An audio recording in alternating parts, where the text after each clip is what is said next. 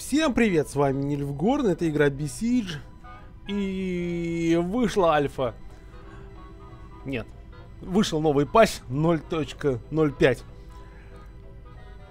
И что же в нем добавили? Это будет описание небольшое этого патча. Добавили новый остров с испытаниями, доступен с пятого уровня. Со временем добавить еще, рассчитывают подготовить это все за 4-6 недель. И вот в чем суть что никакого острова я не нашел больше для испытаний. Возможно, либо, ну, подразумевается то, что они ведут еще, либо что-то просто я, либо я недопонял, либо недопонял переводчик. Всякое может быть, но все, все-таки. Так что, не знаю, я никакой другой карты не нашел. Дальше. Хотят они перейти на движок Unity с 5 на 4. Тем самым они намного улучшат э, ну, качество игры, в отличие от четвертого движка, повысит стабильность, и, повысит стабильность и ну, стабильность игры, и благодаря этому можно будет делать конструкции поистине большие, они не будут лагать, они не будут, не будут подлагивать, и компьютер спокойно сможет с этим справляться. То есть прогружать каждые э, части, кусочки там этой вашего устройства. Но пока они это все не могут сделать, потому что, ну, проблемы с движком, исправление которых они ждут, собственно говоря.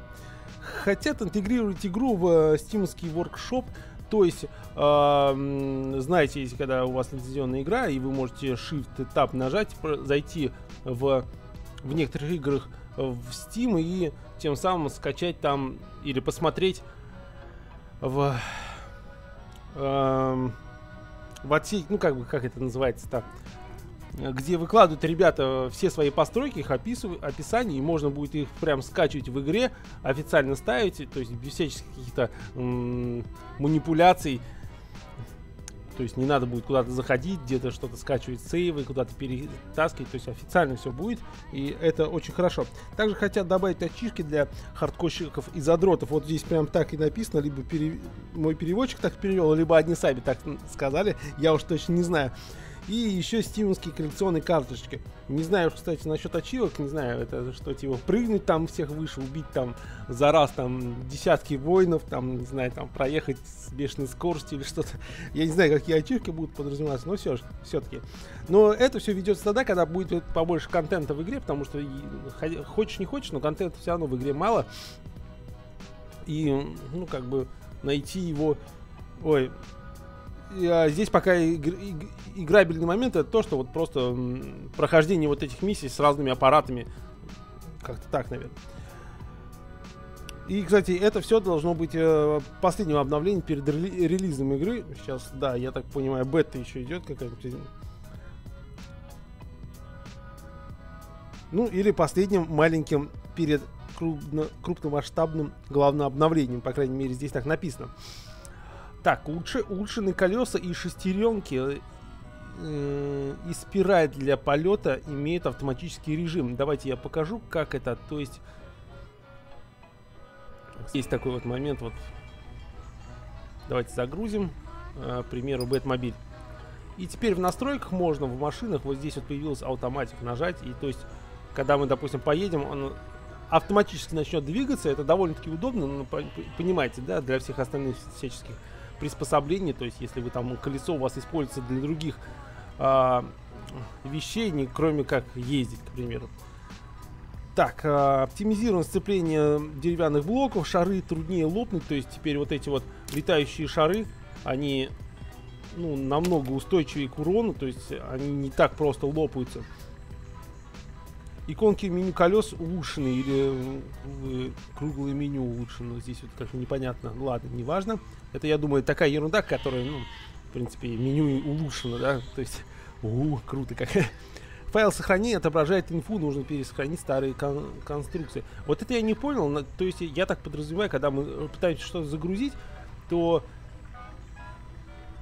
э, здесь, ну, как бы в сохранении добавляется Давайте вот Бэтмобиль пере пересохраним. И если смотреть, то есть никакой информации не добавилось. И как это подразумевается, может, то есть где хранится, есть, вот это, может быть, я не обращал внимания, может, этого не было. Я не знаю, честно говоря. Ладно. А, можно назна назначить цифры в кеймаппере. А, возможно, это подразумевается то, что, а, допустим, в меню может быть... Хм. Ну-ка.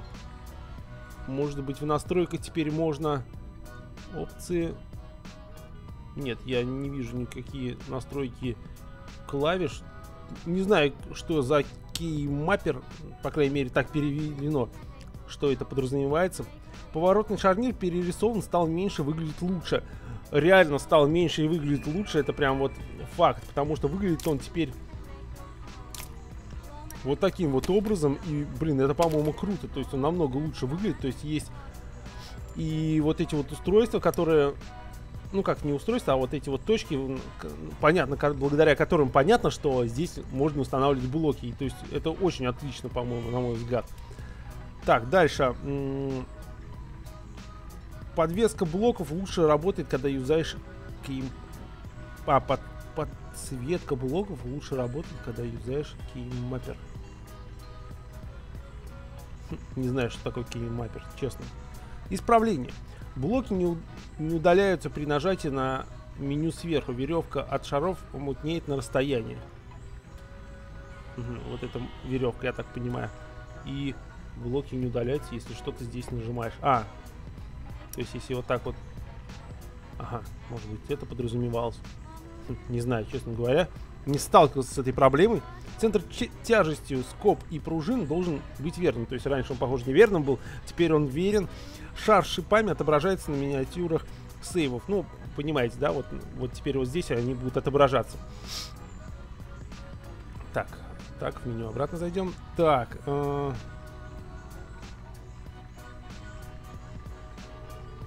Так, вот.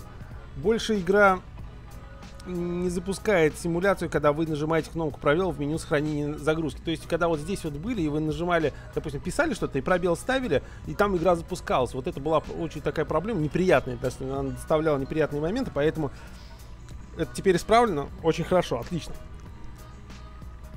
А, больше текстур домиков и ветряных мельниц не заменяется на сгоревшую, если их охватывает пламя это такой момент, который заметен только в режиме песочницы, вот в этом режиме, и поэтому, думаю, это не очень будет так критично или как-то так круто изменит игру, что прям на это стоит обращать внимание.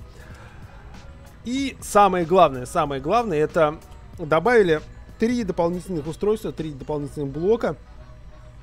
Сейчас я найду где... Так, и улучшение. Это улучшение... А, нет, не улучшение, это добавленные блоки, большое колесо. И оно поистине большое и поистине крутое на самом деле. А, вот эти колеса. И теперь это выглядит просто шикарно, по-моему. То есть... И... И выглядит круто. Так, передняя часть, переднюю часть надо опустить, потому что она задевает. Так, а, вот здесь нужно убрать сначала вот эти вот, вот эти блоки, потому что они задевают колеса. Так, вот теперь все будет нормально. И, по-моему, это просто вообще шикарно выглядит. А, давай. Не знаю, как вам, но на мой взгляд, это очень классно. Больших колеса, больших колес не хватало, по крайней мере, для меня.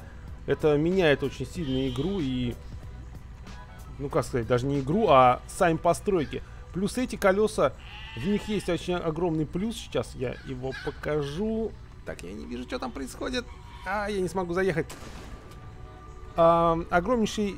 Так, опять камеру сбил, камера сбилась. Так, сейчас давайте уберем сначала вот эти вот. Вот этот вот. Вот этот вот и... Вот этот шарик. Так. Как-то странно очень стало колесо. Так, давайте вот так, ладно.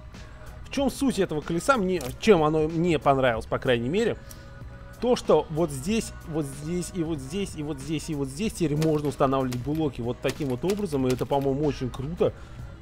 Я, конечно, не понимаю... Ну, да, нет, нет, стоп, стоп. Я очень даже понимаю, как это уже можно использовать. И думаю, это очень проапгрейдит все постройки. Во-первых, именно проапгрейдить, потому что это можно использовать э, в старых постройках, которые уже были созданы. И можно дополнительно в каких-то новых постройках э, это использовать. Плюс не забывайте, что еще вот так вот можно здесь сделать. Это, по-моему, вообще шикарно. То есть какой-то такой момент. Так, сейчас мы переднюю часть поднимем немножко, чтобы... То есть прям вообще очень классно, мне очень нравится. И самое главное, это теперь не нужно какие-то специальные приспособления строить. А, там, ну, что у нас там были? Крутящиеся моменты эти. Не знаю, мне больше это колесо нравится и выглядит это более так жестче, более круче, по-моему, на мой взгляд. Ладно, давайте дальше. Дальше это у нас появился блок такой тоже, который, думаю, изменит очень сильно игру. Это шаровой шарнит Ball Joint. Ball Joint. Вот такая вот штука. И в чем суть его, я сейчас прямо вот, вот здесь вот прямо и покажу. Вот в, в этом суть его и есть. Ну, во-первых, текстурки, они, во-первых, начали делать более, мне кажется, лучше. То есть это шар, и вот на этом шаре висит вот этот вот а, механизм. И, блин, это круто, потому что он вертится, крутится как угодно. То есть вот в последней, в последней моей машине это вот здесь, вот в этом соединении можно эти шары использовать. То есть вместо того, чтобы вот наворачивать вот вверх-вниз, да, влево-вправо, хватит, по сути, вот такого вот одного. Единственное, что вот здесь вот благодаря этим поршням ход э, самих, самих прицепов может быть более большой, но можно же несколько шарниров поставить, допустим, здесь наверху, здесь внизу.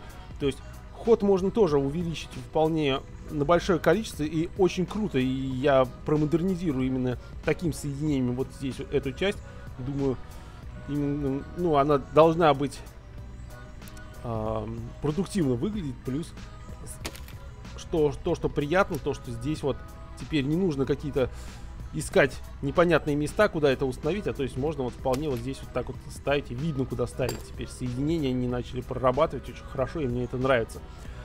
Так, и последний блок, который остается, это блок факел. То есть факел маленький небольшой факел, small flame torch. Где он, где он, где он? Так, он у нас в оружии. Именно в оружии он присутствует, потому что он, э, в принципе, он не наносит урона, но, но он поджигает все вокруг. То есть, если мы его э, к зданию, допустим, до, здания до, дотронемся им, то он поджигает здание. Не знаю, как это еще использовать. К примеру, это можно использовать э, ну, запу запуская снаряд, пропуская над огнем, то есть какой-нибудь снаряд, к примеру, даже доску, запуская снаряд, поджигается она и улетает. То есть, к примеру, так можно использовать это. То есть, по-разному можно, в принципе, это придумать. Варианты есть. Не знаю уж, для чего конкретно они это используют. Но я думаю, сейчас просто заполонит интернет новыми постройками из этих трех блоков, потому что эти три блоки, они существенно меняют весь, э, весь взгляд на как, как бы на постройку приборов, так что думаю, это очень будет интересно посмотреть. Если вам понравилось, ставьте лайки, если я вам помог, тоже ставьте лайки. Я очень прошу извинений за неправильную серию до этого, которая была, потому что там был небольшой глюк, недоработка моя, который я просто не перепроверил. Прошу за это прощения. Присоединяйтесь к моей группе ВКонтакте. Ставьте лайки под серией, если вам понравилось. Присоединяйтесь. Подписывайтесь на мой канал. С вами был Нильфгорн. Всем всего хорошего. Пока.